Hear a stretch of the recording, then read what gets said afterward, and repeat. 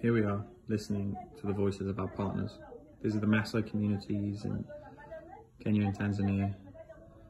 They're talking about how they've been displaced from their land to create spaces where people can come in and, and hunt.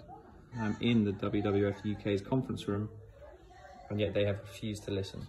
They have evacuated their building, they have run away in fear, understanding that they are complicit in these crimes. For days we have been occupying, we have been forcing negotiations, we have been trying to talk, trying to raise the fact that WWF's work is complicit in the eviction and destruction of these people's homes.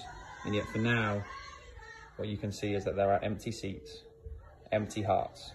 What the fuck, WWF?